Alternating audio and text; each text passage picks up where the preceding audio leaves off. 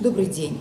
Меня зовут Назаренко Зоя Всеволодовна, руководитель управления культуры города Заозерного.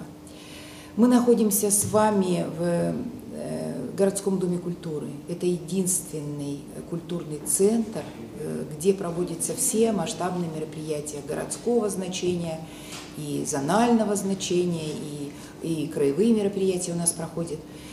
И мы вот здесь, здесь не случайно, я хотела бы обратить внимание на то, что э, здание, вот это здание городского дома культуры, да, оно э, функционирует уже 49 лет. В следующем году мы будем справлять его юбилей.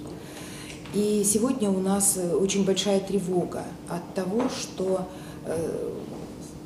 перекрытие над, вот, вот, над этим зрительным залом, где мы с вами находимся, оно находится в аварийном состоянии, и обнаружили это мы вот в 2012 году.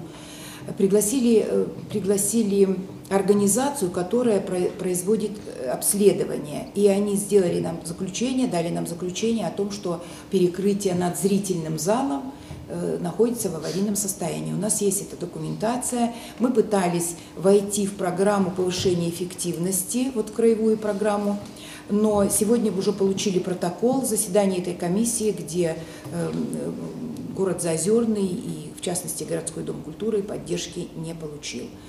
И мы очень тревожимся, потому что это, я еще раз повторяю, что это единственное э, здание, единственное помещение, где мы можем проводить вот мероприятия. И может население остаться без не получать эти услуги культурные.